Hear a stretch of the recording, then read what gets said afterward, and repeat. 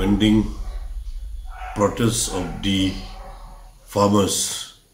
We have seen the amount of the protest coming from all over the farmers and uh, one I really like the decision taken by, by the Honorable Prime Minister to repeal and review about the decision uh, of the farm laws.